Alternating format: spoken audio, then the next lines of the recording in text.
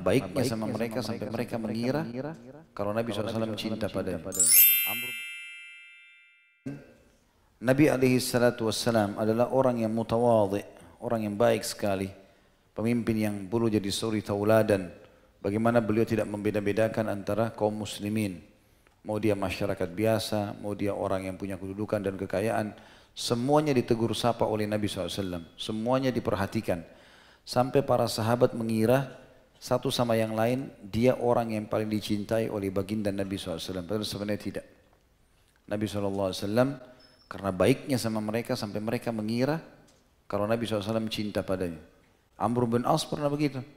Saking selalu kalau datang ketemu Nabi, Nabi senyum, sambut dia, salaman. Dia mengira dia orang yang paling dicintai. Lalu dia mau tunjukkan di depan sahabat Nabi yang lain. Lagi rame-rame habis sholat dia bilang, ya Rasulullah, siapa orang yang paling anda cintai? Dia menunjukkan kalau dia. Lalu kata Nabi SAW, ya, Aisyah. Gitu kan. Lalu kata dia, ya Rasulullah, laki-laki. Gitu. Kata Nabi SAW, ayahnya, Abu Bakar. Kata Amr, siapa lagi ya Rasulullah? Umar, siapa lagi Rasulullah? Uthman, siapa lagi Rasulullah? Ali.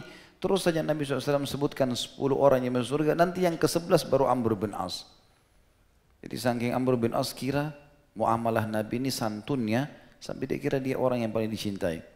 Dan begitulah tradisi Nabi alaihi salatu di mana beliau menghormati semua yang kecil, yang besar, laki-laki, perempuan, miskin, kaya. Semuanya ditegur sapa oleh Nabi alaihi salatu termasuk ya orang yang membersihkan masjid dari dari wanita tua yang miskin ini Nabi SAW khususkan untuk mendatangi kuburannya dan mendoakan. Alhamdulillah.